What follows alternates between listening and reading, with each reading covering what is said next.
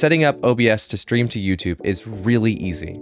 Let me show you how. First thing to do is right click OBS Studio, wherever it is, and run as administrator.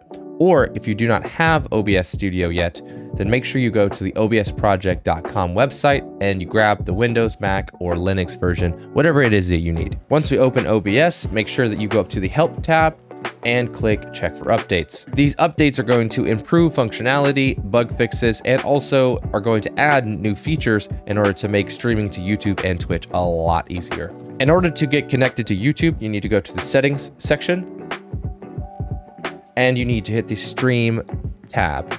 Once we're in the stream section, you're gonna wanna hit service and make sure that YouTube is enabled, not Twitch or any of the other ones. You can ignore the server and just hit connect account. It just allows you to sign in, make things super easy. Make sure you allow OBS to access your account by hitting continue.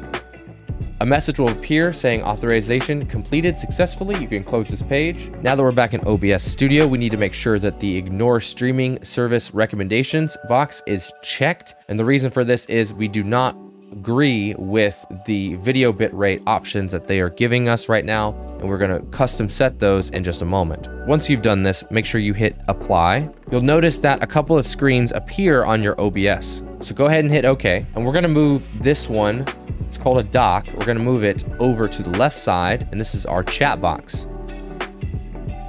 And it could slip right in there. You can put it anywhere you want, but I recommend obviously left or right. That makes the most sense to me. You'll also notice the live control panel is now enabled as well. In order to use this, we need to sign in again, but once we do, it'll have some neat features to it. So go ahead and sign in. Before we go any further, there is something that you need to know. YouTube requires that in order for you to start live streaming, you have to wait a 24 hour period of time to go through a verification process.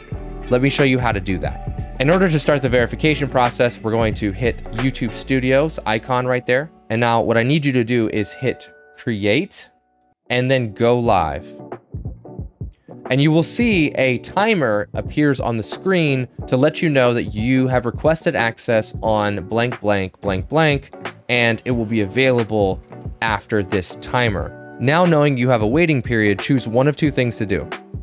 You can A, come back later and watch the rest of this video once your waiting period is done. Or B, you can watch the rest of this video and then when your waiting period is done, you're already ready to stream. I'll let you decide that, and I'm gonna keep going. If your page has a request button on it to start this countdown, make sure you hit that before you do whatever it is you're going to do. And for more information on the waiting process, you can hit the learn more button and it will tell you basically the same thing that I was telling you already. Once your channel is unlocked, go ahead and hit the manage broadcast button. In the manage broadcast section, you can set a lot of different settings, including your title, your description, your privacy to public, unlisted, or private. You could even set your category to gaming, film, autos, etc., etc. I would highly recommend for most of you that you're going to want to say, no, it's not made for kids. So whatever you're doing is probably not made for kids. Also, it, it affects monetization ability. You can add your stream thumbnail as well here and additional settings including latency, normal and low are generally fine. I would always enable DVR. This allows for your stream to be recorded and then posted to YouTube. You could always unlist those videos, but sometimes it's good to have them in case you want to clip something from it. And finally, you can schedule the broadcast for later by clicking this button. If your schedule for later is unchecked, then your options will be create broadcast and create broadcast and start streaming. This will make you go live immediately, but hold on, don't do that because we need to go through your bitrate settings before you even think about sending this broadcast through.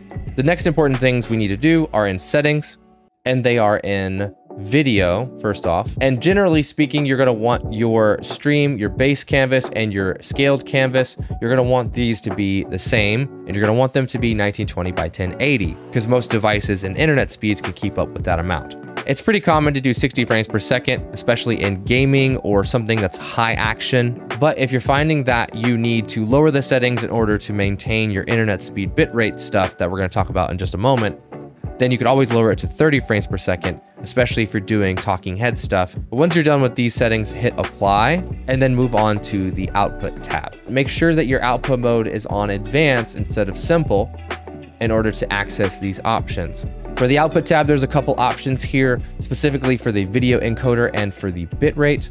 For video encoders, there are a few options. You have the GPU-based options, which are the NVIDIA, the AMD, the sometimes Intel will come up here, the Mac, anything that in, that says like an actual name will most likely be your GPU. GPUs are the best way of encoding because they have generally a dedicated chip and allows the GPU to be able to do other things while it's also encoding your stream.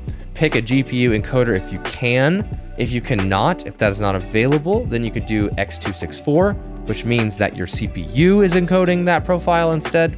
So I'm going to stick to something very friendly to all platforms and do H.264. I'm going to leave the rate control at CBR and your bitrate is determined by your internet speed. In order to do that, you need to go to a site like speedtest.net and you need to hit the go icon in the middle in order to test your internet connection. As you can see, my test results were a 904.91 for the download and a 928.77 for the upload. And the way that I like to do this is I like to take the number that I have and I like to cut it in half. 928 does not break evenly in half very well. So I'm gonna just imagine that my upload speed is actually an 800 megabytes per second. 800 cut in half is 400.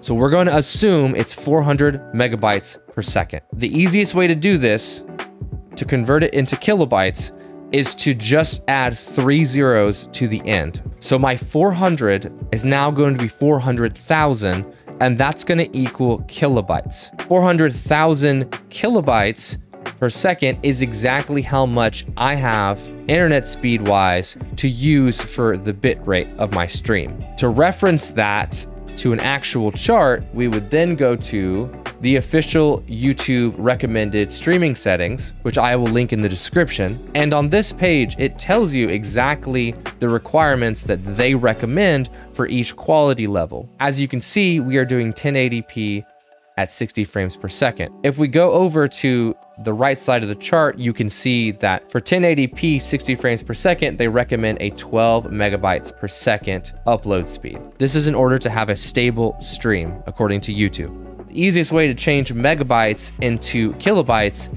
is to just have three zeros at the end. In this case, 12 megabytes per second is going to be 12,000 kilobytes per second. And in case you're wondering why I keep saying just add three zeros, it's because every 1,000 kilobytes equals one megabyte. So it works out cleanly as long as you're on an even number, to be able to just add three zeros to the end to convert it. And we don't have to be exact with these bit rates, we just have to be somewhat close. So if I only need 12,000 kilobytes per second in order to have a healthy stream, and I have 400,000, then that means I am very much in the clear and I can go ahead and just put my 12,000 and be done. There's no point in using the whole 400,000 as there's no actual gain past what YouTube is recommending. However, if I was recording at 4K 60, then I would need a lot higher bit rate of 35,000 megabytes per second. Let's go through a hypothetical situation that probably will apply to most of you. Let's say you did a speed test, and that speed test yielded you an upload speed of 20 megabytes per second. You would then cut that 20 megabytes per second upload speed in half and you'd have 10 megabytes per second. Then add three zeros and you now have 10,000 kilobytes per second. And in this circumstance, if you were doing 1080p 60 with H.264, then you would be under the recommended amount of 12,000 kilobytes per second needed to have a healthy stream. So then at that point, you may consider going down to 30 frames per second or even 720p and 60 frames per second. I hope that makes a little more sense to you on the bitrate end of things. If you have any questions about how that math works out, then please comment below. So let's go ahead and put in my 12,000 recommended bitrate. As for the keyframe interval, YouTube actually recommends two seconds. For the preset, I recommend P4, which is medium to medium quality. The lower you go to to P7, the best quality you have, but the harder it is for your computer to run. And vice versa. The higher up you go to P1 will be lower quality, but will be the easiest for your computer to run. It's been proven by other content creators that medium quality seems to be the best return for what you're giving up. Tuning, stick to high quality, and multipass mode, turn it to single pass. Your profile can be on high, and I would turn off look ahead and psycho visual tuning. Your GPU is most likely going to be zero if you have a dedicated GPU, which means it's not tied to your CPU. If you have a laptop, then most likely you will have a GPU tied to your CPU, but in order to check that, the easiest thing you can do is actually just hit Control Alt Delete and go to Task Manager. When you pull your Task Manager up, go ahead and hit the Performance tab. And you will see down here at the bottom that it states what number your GPU is named. As you can see, my GPU is named GPU 0, but you may have multiple GPUs show up. And you need to figure out which one is the better GPU, and then you need to put that number in this spot.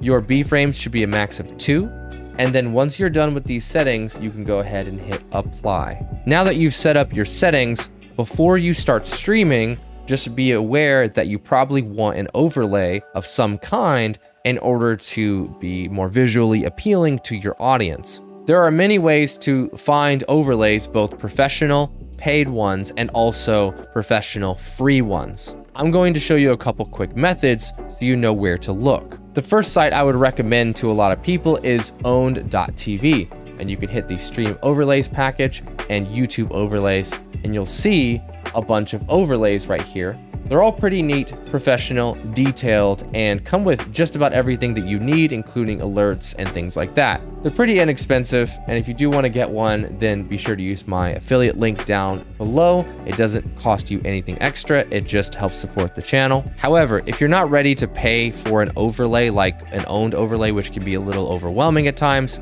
then don't worry about it. Right above my head should be some videos where we talk about how to set up StreamElements, free overlays, and also an overlay that I give you for free from our personal designer. I look forward to seeing you in those videos. Let's keep learning OBS together.